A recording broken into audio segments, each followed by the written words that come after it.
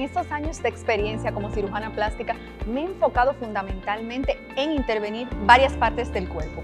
Las mamas, la lipo, la abdominoplastía, el BBL, son las operaciones más comunes en mi quirófano, aunque hoy por hoy la tendencia ustedes saben que son los rellenos de glúteos. También realizo algunos tratamientos faciales no quirúrgicos como el Botox, el ácido hialurónico, el plasma y mi favorito de todos los tiempos, el Profilo. Es algo nuevo y espectacular que ha llegado a mi consultorio. Aproximadamente 8.000 pacientes han pasado por mi quirófano a lo largo de todos estos años, de los cuales el 99% son extranjeros. Son 8.000 pacientes que ahora parte de mi familia y de mi vida. Nos mantenemos en contacto, hablamos de temas nada relacionados con cirugía plástica.